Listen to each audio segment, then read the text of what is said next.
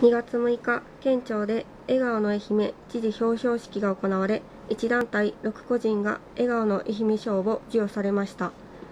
他力本願株式会社の梶原さんは、姫野凛がこのような賞をいただいて、県内外から興味を持たれている。今後もより興味を持ってもらえるような栽培をしていければと述べました。これに対して中村知事は、今年はこれにより弾みがついたので、来年2年目の進出が大事なので期待していると述べました。